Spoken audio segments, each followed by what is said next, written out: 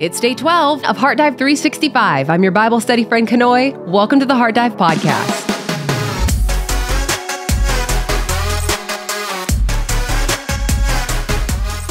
Welcome back, friends. Yesterday we heard the closing arguments from Job, and today we hear from someone in the audience, this new fella, Elihu, who probably feels like the rest of us. He just can't take listening to these fools arguing nothing anymore. So he's going to have his moment, well, five chapters of a moment, to speak his piece. But before we get into it, if you could please help us out, partner with us by hitting that like button if you are here on YouTube, making sure you are subscribed to our podcast. Also, hit that notification bell if you want to make sure that you know exactly when these videos or these podcasts drop so that you can dig into the word. If you are new here, we welcome you. We want to let you know that we have got a website, heartdive.org, where you can sign up for our newsletter so you can receive each day's lesson in your inbox every single day, as well as a free download of our Bible reading plan. This is a chronological reading plan that we are following, and we are reading out of the ESV translation by Crossway. If you have any questions at all, you can look in the show notes or the description box for all the info that you will need for everything about this podcast. So it's Friday. I know people got places to be, so let's go ahead and pray and get into it. Our Father who art in heaven, hallowed be your name. You are holy and we treat you as such. We stand in awe of you today. We humble ourselves before you, our great Almighty God, the one who was, who is, who is still yet to come. You are the same God. We thank you, Lord, that as we read about the days past, that we can hold on and trust the promises that have already been spoken, for we know that they still remain true today. Your kingdom come, Lord, your will be done, yours. We don't want anything else. We don't want anybody else to dictate our lives, and we don't even want to dictate it ourselves, Lord, because we know that you have our best in mind. And so we surrender ourselves to that today and ask that your will be done here on earth as it is in heaven. Please give us today our daily bread, our nourishment, our spiritual manna, everything that we need to be able to sustain us for this day. And please forgive us for our sins, Lord. Anything that we've done to hurt your heart, to hurt anybody else. And I just pray that if we have done something that has gone over the line or that has stopped short, I pray that you will reveal it to us so that we can go make it right. We can reconcile where we have failed and any words that you have spoken to us where we were not obedient, where we didn't listen. Forgive us now, Lord. We confess of all of our wicked ways and we repent from them. We turn from them, Lord. It's an about face, it's walking away, and it is walking forward in your will for our lives. Help us also to forgive others when people come against us, when they hurt us, when they say things that are ill willed, are completely out of character, help us not to hold on to that, Lord, but just to let it go. We just place it at your feet today. We want to be free, Lord. And so I just thank you for giving us that opportunity today. Please do not lead us into temptation, but deliver us from evil. Keep the enemy far from us. For yours is the kingdom and power and glory forever. We pray this in Jesus' name. Amen. So Elihu starts off here in chapter 32, rebuking Job's three friends. So these three men ceased to answer Job because he was righteous in his own eyes.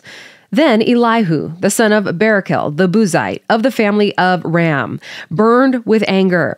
So his name means he is my God. Barachel means blessed by God. So a godly man. Some people say that this was a relative of David or a nephew of Abraham. He burned with anger at Job because he justified himself rather than God. He burned with anger also at Job's three friends because they had found no answer, although they had declared Job to be in the wrong. Now Elihu had waited to speak to Job because they were older than he. And when Elihu saw that there was no answer in the mouth of these three men, he burned with anger. So I don't know if you catch the sense that Elihu is pretty darn annoyed. Now, he didn't have the privilege of sitting behind a screen and being able to just type out his angry comments whenever he wanted to, like we can nowadays. He actually had to wait his turn. And the entire time, his anger was just welling up within him. And it was righteous anger. I mean, you can tell by his response. He doesn't start by just spewing accusation, but he speaks slowly, maybe a little too slowly. I mean, five chapters worth of very slow words. But heart check. How do you react when anger starts to well up within you? Are you able to control it? Or do you immediately spout off? And Elihu the son of Barachel the Buzite answered and said, I am young in years, and you are aged. what a very profound statement, right? Just kidding. Therefore, I was timid and afraid to declare my opinion to you. I said, Let days speak, and many years teach wisdom.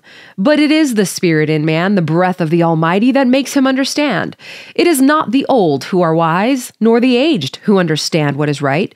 Therefore, I say, Listen to me. Let me also declare my opinion. So Elihu is challenging traditional wisdom here by saying that age ain't nothing but a number. He recognizes that there are some old folk that act like toddlers, and then there are some younger who are actually sprouting spiritual gray hairs. He was making the point that true wisdom doesn't actually come with age, but rather by the Spirit of God. That's true. But what about you? Are you able to respect the wisdom that comes from someone younger than you?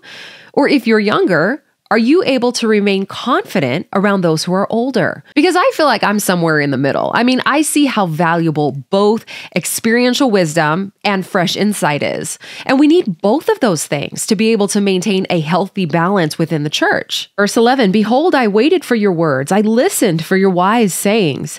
While you searched out what to say, I gave you my attention. And behold, there was none among you who refuted Job. So he's saying, You guys didn't prove anything, you didn't present any sort of evidence that held any ground?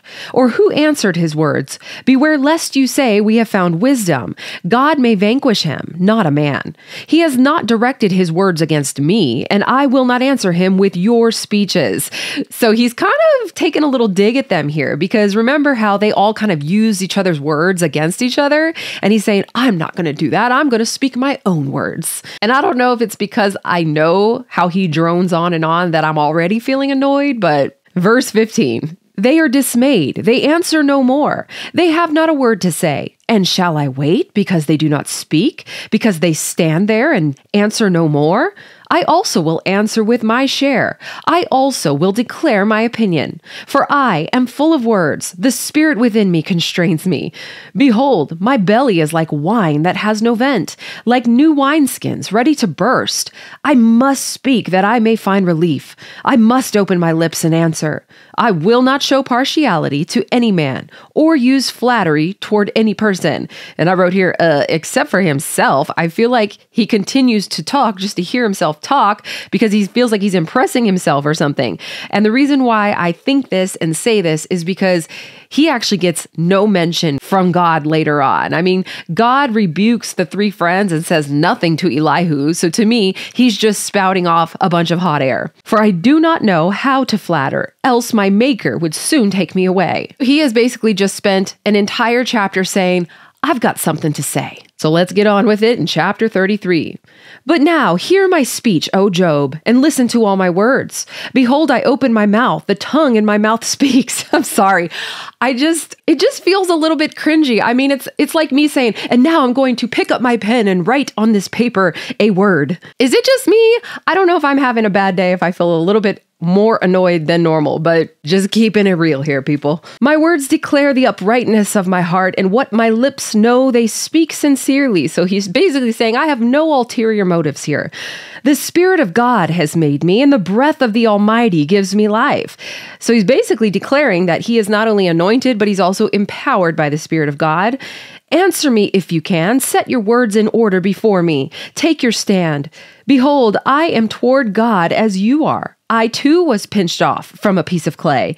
Behold, no fear of me need terrify you. My pressure will not be heavy upon you. So he's kind of saying, you know, we're on the same team. And I think when I first read this, I was like, this is a good guy. I mean, compared to the last three, he seems kind of like a saint at this point. And it sounds like he's going to go pretty easy on Job, which is good news. But again, I know the end of the story, so let's continue. Surely you have spoken in my ears, and I have heard the sound of your words. You say, I am pure without transgression. I am clean, and there is no iniquity in me. First of all, false. And this is where I started getting irritated. Behold, he finds occasions against me. He counts me as his enemy. He puts my feet in the stocks and watches all my paths. So, this is his perception of the words that Job has spoken.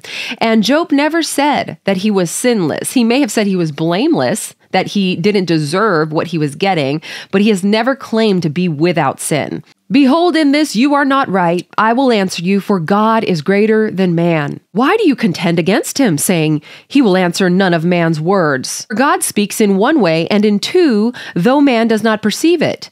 In a dream, in a vision of the night, when deep sleep falls on men while they slumber on their beds, then he opens the ears of men and terrifies them with warnings, that he may turn man aside from his deed and conceal pride from a man. He keeps back his soul from the pit, his life from perishing by the sword.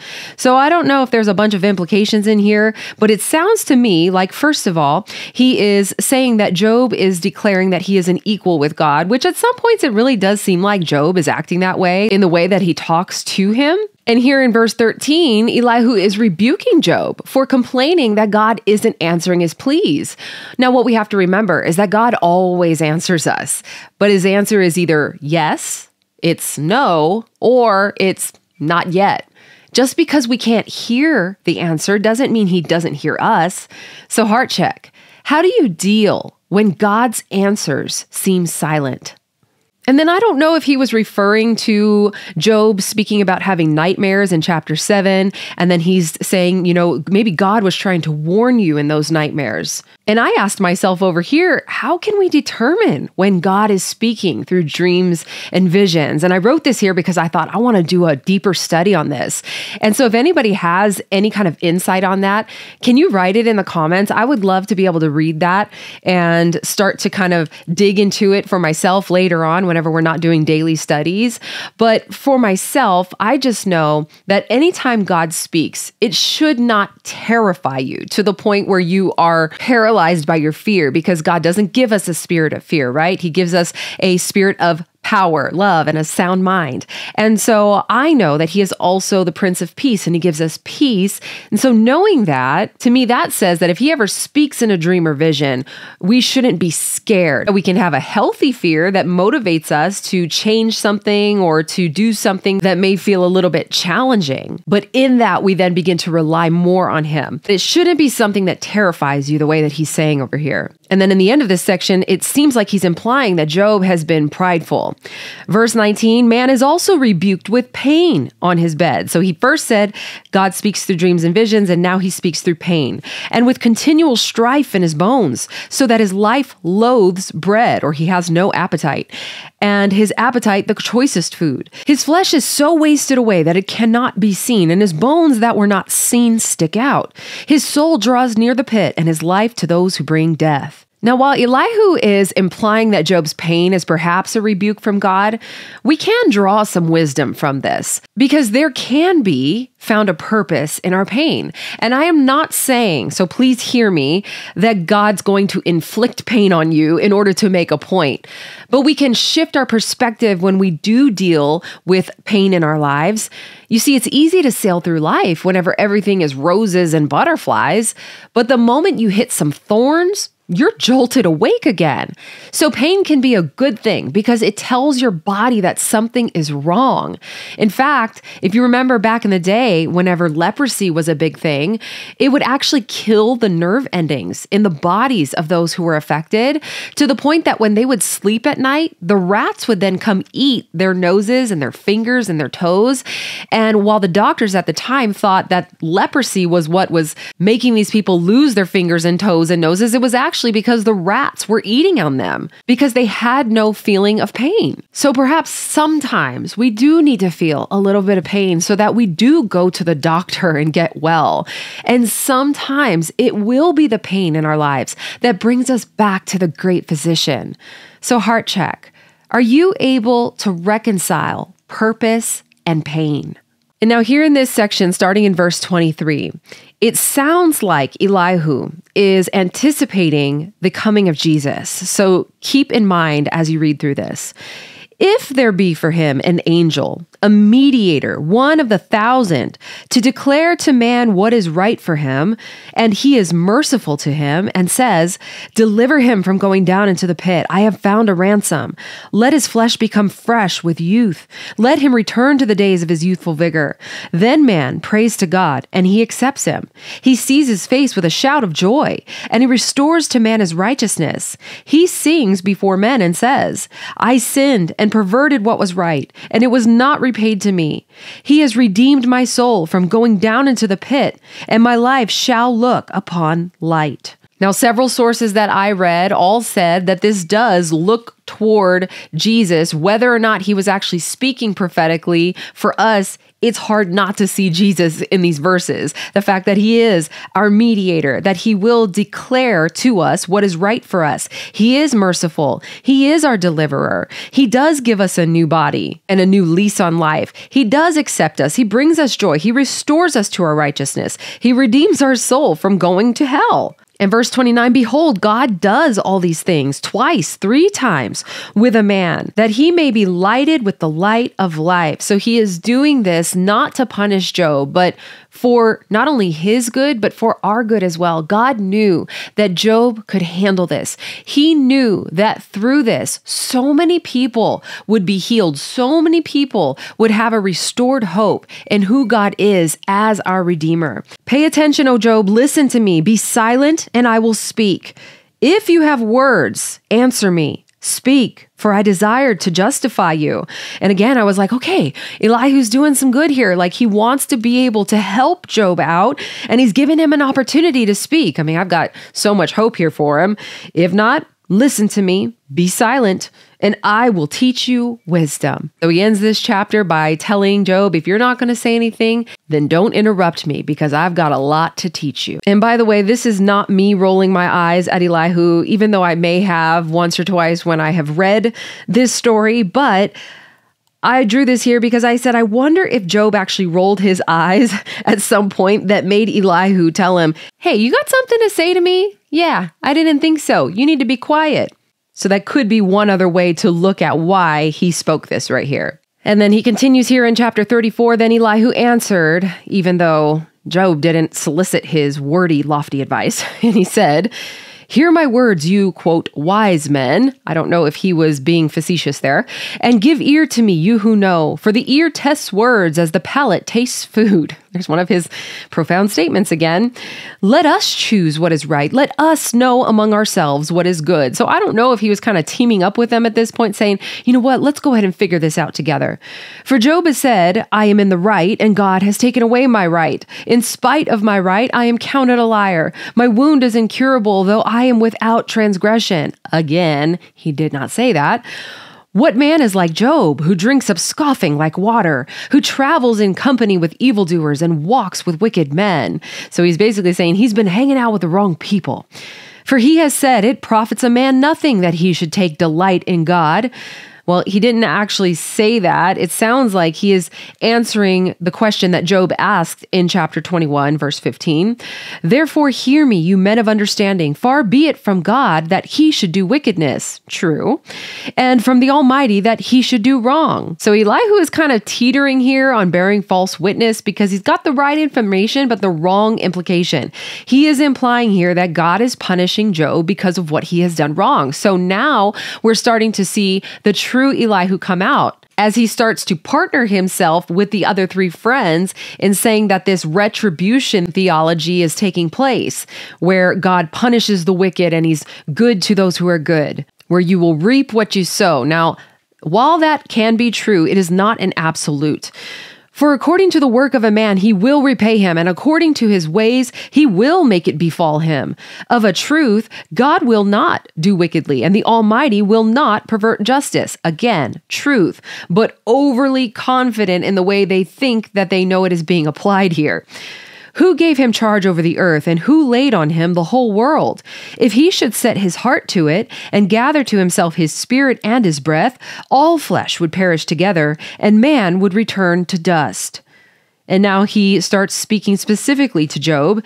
If you have understanding, hear this. Listen to what I say. Shall one who hates justice govern? Will you condemn him who is righteous and mighty, who says to a king, worthless one, and to nobles, wicked man? So he's saying, isn't he fair with all people? Who shows no partiality to princes, nor regards the rich more than the poor. So he's saying, isn't he fair to all people? For they are all the work of his hands. In a moment they die. At midnight the people are shaken and pass away, and the mighty are taken away by no human hand. For his eyes are on the ways of man, and he sees all his steps. So basically, nothing is hidden from God. There is no gloom or deep darkness where evildoers may hide themselves. For God has no need to consider a man further that he should go before God in judgment. So, in other words, God doesn't need to listen to your testimony anymore because he knows the truth, he knows what is going on. And this is pretty unfair. I think that Elihu is sitting here saying, You have condemned God just because he's crying out in this agony. Because the thing is, is that Job cried out in agony to God because of the fact that he loves God. If he didn't love God, he would have no reason to cry out to him. Shatters the mighty without investigation and sets others in their place. Thus, knowing their works, he overturns them in the night and they are crushed. So basically, no one gets away with anything. He strikes them for their wickedness in a place for all to see. So he does public punishment because they turned aside from following him and had no regard for any of his ways, so that they caused the cry of the poor to come to him, and he heard the cry of the afflicted. When he is quiet, who can condemn? When he hides his face, who can behold him? Whether it be a nation or a man, that a godless man should not reign, that he should not ensnare the people. So who are you to question God's quietness? He can be quiet if he should so please. For has anyone said to God, or this implication is here, for has Job said to God, I have borne punishment, I will not offend anymore. Teach me what I do not see. If I have done iniquity, I will do it no more. So he's asking him, Have you even confessed, Job? Will he then make repayment to suit you because you reject it? And this reminded me of when I was little. I remember going to my Filipino uncle's house when I was a little girl, and it would be a karaoke fest every single weekend. And my uncle would always sing the song, I did it my way. And I just remember that. It rings in my head every time I read anything about doing life our own way because that singer was claiming to have no regrets about life because he lived the way he wanted. And Elihu is rebuking Job here by asking, Do you really think God should do things your way? And I couldn't help but ask myself, How much of my life am I actually trying to live my own way? So let that serve as a heart check. How much of your life are you expecting God to do your way? See, we can even learn from foolish talk. For you must choose and not I, therefore declare what you know. Men of understanding will say to me, and the wise man who hears me will say, Job speaks without knowledge, his words are without insight. So he's saying, Everyone agrees with me, Job, that you are out of your mind. Would that Job were tried to the end because he answers like wicked men, for he adds rebellion to his sin. He claps his hands among us and multiplies his words against God. I just said, wow, so much for not being harsh on him. He is accusing him of being rebellious, of not taking wise counsel from those who are trying to speak into his life, and for speaking up against God. And while he has stated a lot of truths here in these chapters, he has also taken the words that Job has spoken and completely overinflated them, taken them out of context, and is applying it to his own agenda. So again, he is edging on bearing false witness. That's what that is. It means you've got some information in your hand, but you're going to twist it all up to make a person look bad. And that grieves the heart of God, especially when a person is innocent in the matter. So, with that, let's take a look at some of our deep dive questions. In what ways were you able to see God's heartbeat through this reading? Does it challenge or affirm your understanding of who God is? What can we learn from Elihu's restraint and response in today's keyboard warrior society? Can you tell the difference between righteous and unrighteous anger? When is a reaction warranted and what should it look like? And how can you determine when God is speaking through dreams and visions? So we just thank you, Lord, for being our defender whenever we are kicked to the ground like Job is here. Even in the midst of those who may have good intentions with their rebukes, we know that you have the full story and you're the one who knows the whole truth and nothing but the truth. I pray that our eyes will always be open to that as well. May we also see the value in every single generation, knowing that wisdom does indeed come with age, but it doesn't always mean that our age determines that wisdom. And so I pray that we will honor those who have gone before us, paving the way but also welcome the fresh perspectives of those who are coming up after us. And I pray that we will never be the type of people who rebuke simply for the sake of looking or sounding good. Help us to always go about it in a godly way with love and grace. And help us also never to think so highly of ourselves that we begin to twist and misinterpret what others say based on our own agendas, the way that Elihu has done here.